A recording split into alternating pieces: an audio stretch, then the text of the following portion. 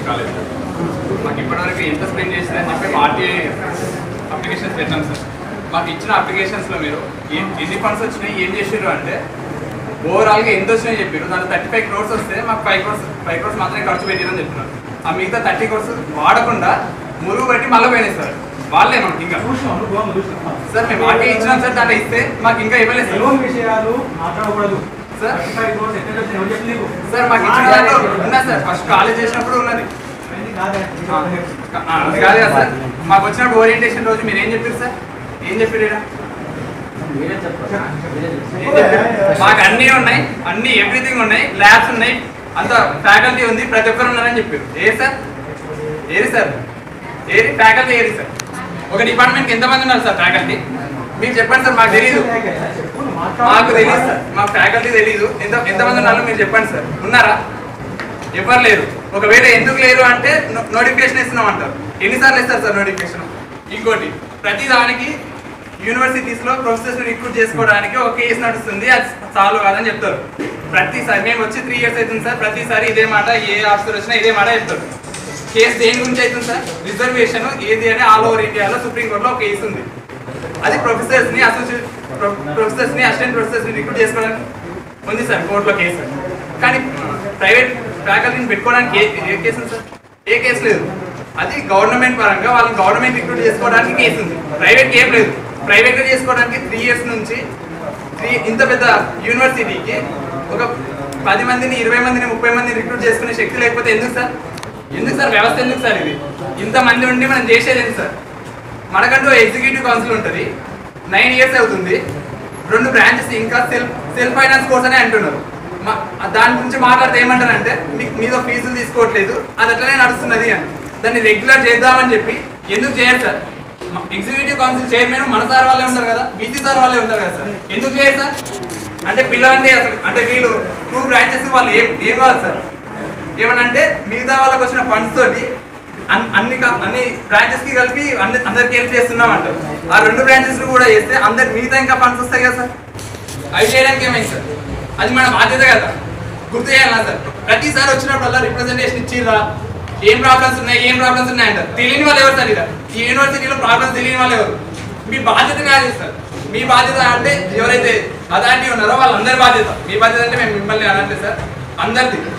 BC కావచ్చు executive council కావచ్చు ఇంకెవరైనా కావచ్చు అందరిది సార్ వైస్ ఛాన్సలర్ నుంచి ఛాన్సలర్ వరకు. ఎవరైనా మీ బాధ్యత సార్ మీ డ్యూటీనే మీకు శాలరీస్ ఇచ్చేదే అందుకు. మేము యాక్చువల్గా మేము స్టూడెంట్స్ సార్ ఇవన్నీ మేము మాట్లాడదు మీ దగ్గర.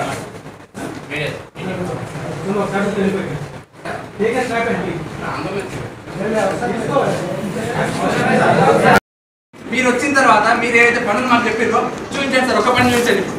ఒక పని మీద చూపించండి. ఒక వైఫై తప్ప మీరు ఒక్క పని అయినా చూపించండి హాస్టల్లో. మీరు మేము మాట్లాడు మేము వచ్చి కమిషనర్ మేము కలు మీతో పాటు కమిషనర్ గౌతమ్ సార్ని మేము కలుస్తామని చెప్పినాం సార్. వెనక ఆ ఇష్యూ మీద. ఆ ఇష్యూ సార్ మీరు ఏమన్నారు మేము అథారిటీ ఉన్నాం. అయ్యా మేము తీసుకొని వెళ్తాము అంటాం ఎవరు? ఇంజనీర్ సార్ వచ్చి.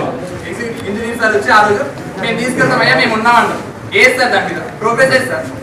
కమిషనర్ సార్ మేము వస్తాం మేము కలుస్తామని చెప్పినాం. లేదు ఇప్పటి వరకు ఇంకా మురుగు నీళ్ళు అట్లే ఉన్నాయి సార్. దాని కుక్కలు కుక్కలు పడుకుంటున్నాయి మేము పడుకుంటున్నాం సార్ హాస్టల్లో అట్లే ఉంటాయా సార్? అట్లే ఉంటాయా? మీద క్వార్టర్స్ ఎంప్లాయీస్ క్వార్టర్స్ ఉన్నాయి కదా సార్ అట్లే ఉంటాయా? మా మా వాష్రూమ్స్ మా వాష్రూమ్స్ ఉన్నాయి సార్. మన్- మనుషులు ఎవరు ఉన్నారు సార్. ఒకవేళ బయట ఎక్కడ కుష్ఠరోగులు ఉంటే వాళ్ళు కూడా అంత అంత గలీజ్ ఉండవు సార్. అట్లనే ఉన్నాయా సార్? అక్కడ అక్కడ మీరు చేసే సెక్రటరీ అక్కడ అడ్మినిస్ట్రేషన్ ఆఫీస్లో అలాగే చేస్తున్నారు సార్. అలాగే చేస్తున్నారా? మీకు ఒక రూల్ మాకు ఎందుకు సార్? మా కోసం ఇది పెట్టిన మీకోసం కాదు. మా కోసం ఇది పెట్టిన మీకోసం కాదు. మీరు మా మీద మేము మేము ఇక్కడ స్టూడెంట్స్ చదువుకుంటున్నందుకు మీకు జీతాలు ఇస్తున్నారు మీకోసం మీకోసం మేము మీరు ఉండట్లేదు. మేమేమైనా మాట్లాడితే మేమేమైనా మాట్లాడితే ఏమైనా క్వశ్చన్ చేస్తే మీరు కట్టే మీరు కట్టే డబ్బులకి మీరు కట్టే డబ్బులకి ఇవే ఎక్కువ అంటున్నారు. ఎందుకంటారు సార్ మేము కట్టే మేము కట్టే డబ్బులే అంత మా మా కోసం పెట్టింది సార్ ఇది. మీ మాకు డబ్బులు లేకనే మేము చదువుకోవడానికి మేము మేము తెలుగు వాళ్ళ స్టూడెంట్స్ కాబట్టి ఈ యూనివర్సిటీకి వచ్చినాం సార్. మా కోసం మేము ఉంటాం కాబట్టి మిమ్మల్ని రిక్రూట్ చేసుకొని మీకు జాబ్స్ ఇస్తున్నారు మీకు శాలరీస్ ఇస్తున్నారు. సో మీరు క్వశ్చన్ చేయడానికి అర్హత లేదు సార్. ప్రతిసారి ఇదే మాట. ప్రతిసారి మేము అడిగిన ప్రతిసారి మీకు మీరు ఇచ్చే డబ్బులకి ఇంతే ఇంతే. ఏం చేస్తారు సార్ ఇంతే? ఇవేనా? ఉస్మానియా యూనివర్సిటీలో ఇట్లే ఉందా సార్? ఇట్లే ఉంటాయా? మాకు ఇచ్చే డబ్బు మేము ఇంతే కడతాం సార్. మేము కడతాము. గవర్నమెంటే మా కోసం ఉన్నది. ప్రజల కోసమే గవర్నమెంట్ ఉన్నది. మా-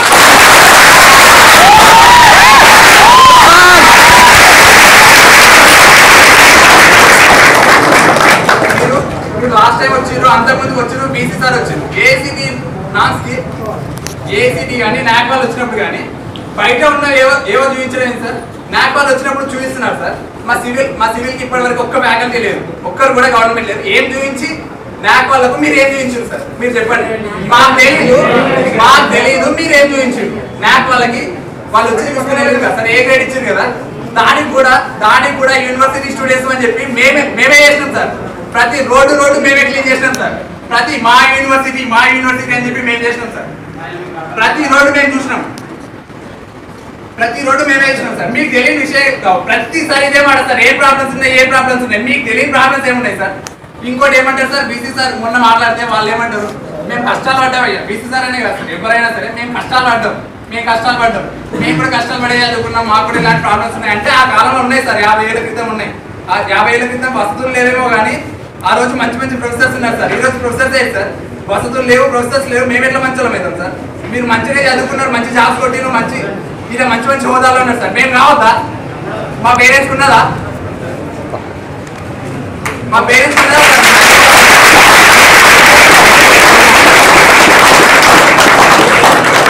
ప్రొవైడ్ చేయండి సార్. మీరు మంచి చదువు ప్రొవైడ్ చేయండి. మేము ఏ స్టేజ్లో చూపిస్తాం మీకు. మీరు సార్ మీరు ఇదే మీరు ఇప్పుడు గుర్తుపెట్టుకోండి సార్. ఇదే ఇదే స్టేజ్లో మళ్ళీ తర్వాత మేము మంచి స్టేజ్కి వచ్చిన తర్వాత మీ దగ్గరకు వచ్చి మాట్లాడతాం సార్. ఇదే స్టేజ్లో పక్క పక్కా మాట్లాడతాం.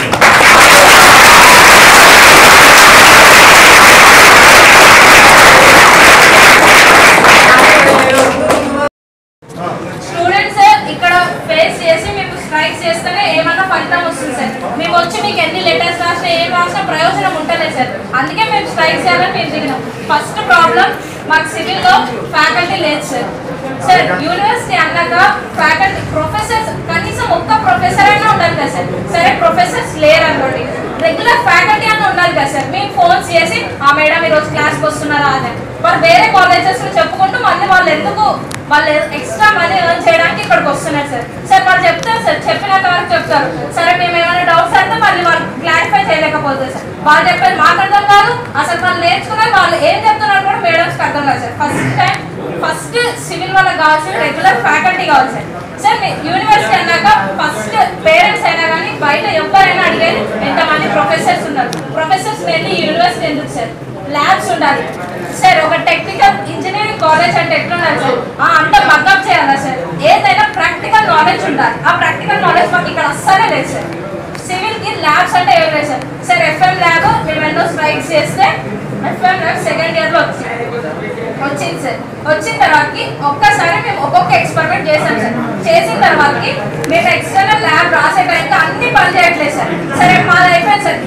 మా జూనియర్స్ రాసే టైంకి అవి అసలుకే ఇక వాల్యూస్ అయితే రానే రావట్లేదు సార్. సార్ ఎక్విప్మెంట్ తెచ్చినప్పుడు ఒక ఎన్ఐటి లెవెల్లో మీరు ట్వంటీ ఇయర్స్ వారంటీ ఉండేటట్టు తెయండి సార్. ఏదో వన్ ఇయర్ టూ ఇయర్స్కి అవి ఎక్స్పైర్ అయ్యేటట్టు తెస్తే ఇక ఈ పలానా వాల్యూ ఇంత రావాలి అనేది స్టూడెంట్స్ ఎట్లా నేర్చుకుంటారు సార్ ప్రాక్టికల్గా అదొక ఒక ప్రాబ్లం సార్.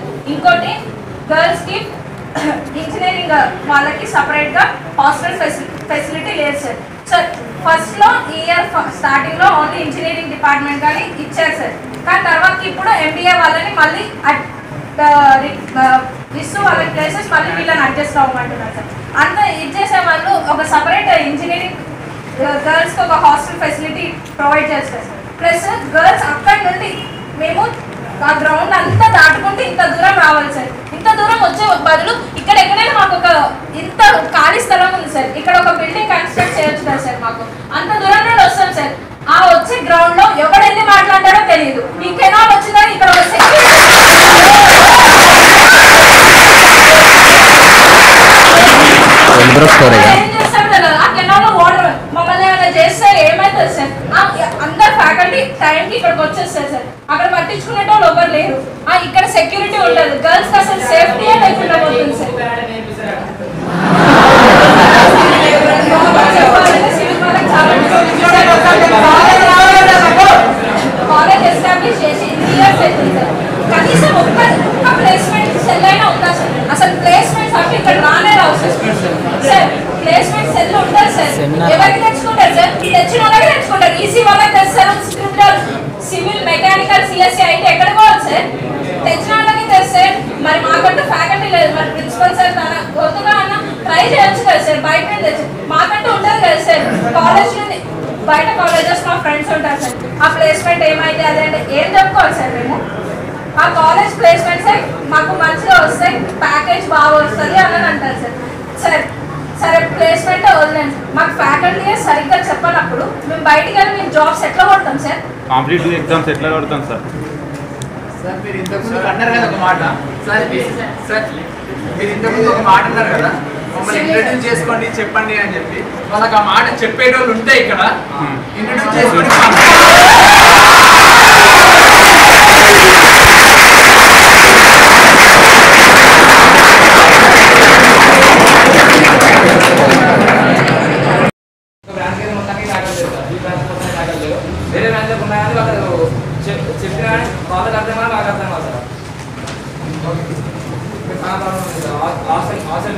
చేస్తారు. కొత్తగా అందరికి టీచర్ చేస్తారు ఇంకా రాలేదు ఒక బేస్మెంట్ లేదు స్పోర్ట్స్ క్లబ్ లేదు. ఇప్పుడు మేము స్పోర్ట్స్ ఆడి వేరే వాళ్ళు ఆడి పోయినా మీ పైసలు కావాలి సార్. మమ్మల్ని ఎవరు తీసుకోబట్టం లేదు అక్కడికి? ఇక్కడ ఈవెంట్ జరిగినా తీసుకోబట్టలేదు ఒక డిజైన్ తీసుకోబట్టలేదు ఎవరు లేదు సార్? అక్కడ పోతేనే వాళ్ళు ఏమంటారు? అంటే చిన్న పదిహేను కానీ మొత్తం మానే చేస్తారు అని. వేరే కాలేజ్ చేస్తారు. మాది ఆమె చేస్తారు. వాళ్ళు ఇట్లా అంటే మాది మాట్లాడే ముందు I'm sorry so self introduction చేసి మాట్లాడతామా రేపు ఇంటర్వ్యూలో మాట్లాడతాయి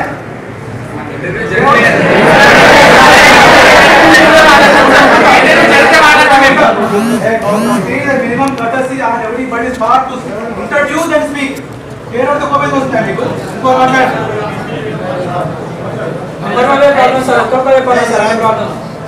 మాట్లాడమన్నప్పుడు మాట్లాడడం ప్లేసెస్ మీరు కూడా ఏదైనా ఏవైతే పాయింట్స్ ఉన్నాయో అవి కాకుండా ఇంకా వేరే పాయింట్ మాట్లాడిన దాంట్లో అదే పేరు చెప్పడం వల్ల ఇబ్బంది ఉండదా మార్క్స్ కట్ చేయించి మిగతా నేను కాపీ కొట్టలేదు ఏం కొట్టలేదు నేను అది ఒక్కడే వేయించాను సార్ అది దానికి పది మార్కులు తీసేయాలి ఓకే తీసేశాను అది నేను ఒప్పుకుంటా సరే అంతగా ఇంకా ప్రెషరైజ్ చేయాలి అనుకున్నప్పుడు ఆ ల్యాబ్ మొత్తం క్యాన్సిల్ చేయాలి. కానీ వాళ్ళకి పర్సనల్ గ్రడ్జ్ ఉన్నట్టు ఏదో తీసుకొని ప్రిన్సిపల్ సార్ వాళ్ళకి ఇచ్చేసి ఎగ్జామ్ వాళ్ళ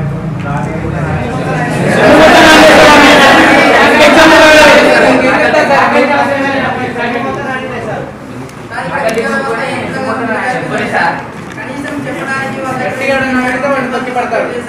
లక్ష లక్షలు పెట్టి ఇక్కడ మేము ఏం చేస్తున్నామంటే వస్తున్నాం నా సబ్జెక్ట్ నా నా సంవత్సరాలు బయటకు పోయి కోచింగ్ తీసుకుంటున్నారు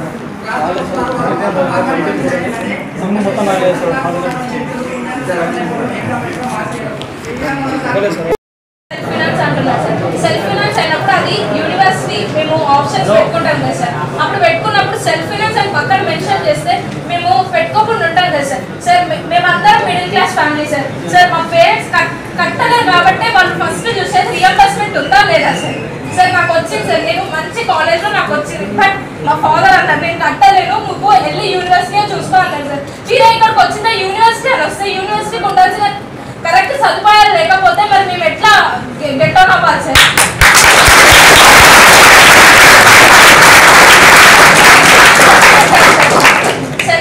మెన్షన్ ఆ పెట్టకుండా ఉంటే కదా సార్ ఫోర్ నడిపించుకుంటే అయిపోయింది కదా సార్ ఎందుకు సార్ అనవసరంగా సివిల్ ఐటీ వాళ్ళది పెట్టి గ్రూప్ పిల్లలు అంతా జీవితం. ఇప్పుడు ఫస్ట్ ఒక టూ ఇయర్స్ నడిపి వదిలేసినట్టు ఇప్పుడు ఫోర్ ఇయర్స్ ఎయిట్ మొత్తం ఎయిట్ క్లాసెస్ సార్.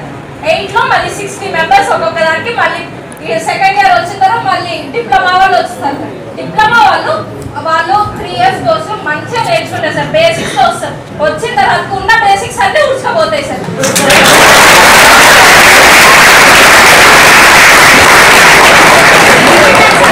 అనేది మాకు తెలియదు సార్. ఆ సెల్ఫ్ ఫినాన్స్ అనేది ఉండదు సార్. మేము పైసలు కట్టలేకనే మేము వచ్చినాం సార్. ఫైనల్లో మీరు సర్టిఫికెట్స్ తీసుకునే టైంకి మీరు మనీ కట్టాలి ఇంత కట్టాలంటే మీరు ఎక్కడ చేయాలి సార్ కొంతమందికి ఆస్తి పాస్తులు కూడా ఉండవు సార్ వాళ్ళ పరిస్థితి ఏంటి సార్ పేరెంట్స్ పిల్లల మీద డిపెండ్ అయ్యి పిల్లలు ఒక ఫ్యామిలీకి ఒక మిడిల్ క్లాస్ ఫ్యామిలీ ఎక్కువ పెంచలేరు వాడు ఒకరో ఇద్దరు కట్టారు సార్ వాళ్ళని మొత్తం ఫ్రీ ఎడ్యుకేషన్ నడిపించి వాళ్ళు పెద్ద అయితే వాళ్ళు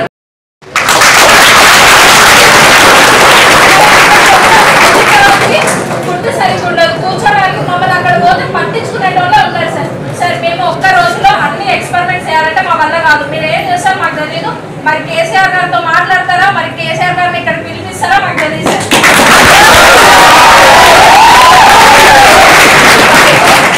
కేసీఆర్ గారు ఇప్పుడు మినిస్ట్రీని ఏర్పాటు చేస్తారు సార్ ఎడ్యుకేషన్ మినిస్టర్ ఉంటారు ఎడ్యుకేషన్ మినిస్టర్ ఏం చేస్తారు సార్ ఇట్లాంటి యూనివర్సిటీస్ ఉన్నదే రెండు యూనివర్సిటీ జేఎన్టీ అంటే అది మొత్తం టెక్నికల్ కాబట్టి దానికి ఓయూ ఓయూ తర్వాతకి ప్రిఫరెన్స్ ఇచ్చేది కేయూకి సార్ సార్ ఈ రెండు యూనివర్సిటీస్ విజిట్ చేసి మహా అయితే ఒక పది పన్నెండు డిపార్ట్మెంట్స్ ఉంటాయి సార్ వాళ్ళ పో- వచ్చి కనీసం ఇయర్లీ వన్స్ అయినా లేకపోతే మంత్లీ వన్స్ అయినా వచ్చి అసలు మీ ప్రాబ్లమ్స్ ఏంటి మీకు అన్ని ఫెసిలిటీస్ ఉన్నాయా లేదా అనేది తెలుసుకోవచ్చు కదా సార్ ఏం చేస్తున్నారు సార్ మనీ అంతా ఎన్ని ఫండింగ్స్ వస్తాయి సార్?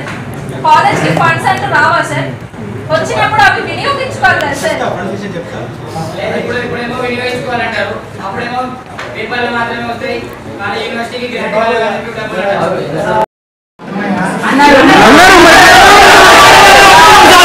ఎట్లా సమాధానం చెప్తారు సార్ మరి. సీఎం కేసీఆర్ చేతిలో ఉన్నప్పుడు మీరు ఎందుకు సమాధానం చెప్తారు సార్? సార్ మీరు ఎందుకు సమాధానం చెప్తారు సార్ మరి?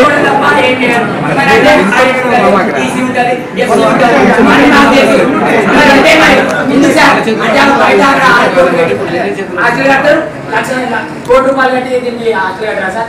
అవి ల్యాబ్ షెడ్ కట్టడానికి గోడలు కట్టడానికి సంవత్సరం పడుతుంది. అక్కడ అయిపోయింది అయిపోయింది ఎగ్జామినేషన్ బ్రాంచ్లో బాత్రూమ్కి పదకొండు లక్షలు పెట్టారు సార్? ఎగ్జామినేషన్ బ్రాంచ్లో బాత్రూమ్ కే పదకొండు లక్షలు ఖర్చు పెట్టారు సార్. ఎడ్యుకేషన్కి ఏం లేదు ఇక్కడ. మన ఎగ్జామినేషన్ అక్కడ. మీరు చూపించిన. ఉంది సార్. VC sir. ఇచ్చిన బుక్లెట్లో ఉంది సార్. మేము అన్ని చూసాం. మొన్న. మొన్న జాన్ ట్వంటీ సిక్స్లో ఇచ్చిరు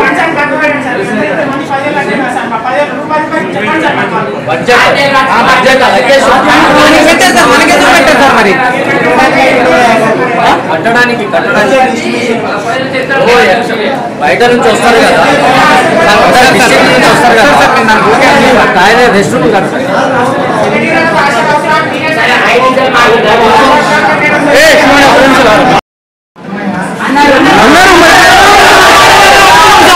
ఎట్లా సమాధానం చెప్తారు సార్ మరి. సీఎం కేసీఆర్ చేతిలో ఉన్నప్పుడు మీరు ఎందుకు సమాధానం చెప్తారు సార్? సార్ మీరు ఎందుకు సమాధానం చెప్తారు సార్ మరి?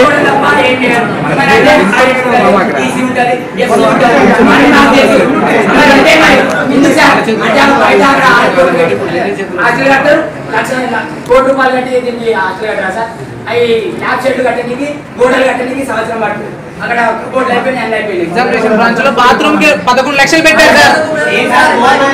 ఎగ్జామినేషన్ బ్రాంచ్లో బాత్రూమ్ కే పదకొండు లక్షలు ఖర్చు పెట్టారు సార్.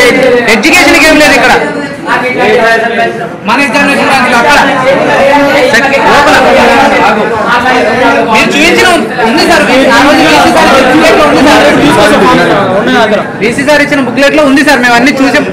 మొన్న. మొన్న జాన్ ట్వంటీ సిక్స్లో ఇచ్చిరు మనకి పెట్టారు సార్ మనకెందుకు పెట్టారు సార్ మరి? కట్టడానికి బయట నుంచి వస్తారు కదా. నుంచి వస్తారు కదా. ఆయన రెస్ట్ రూమ్.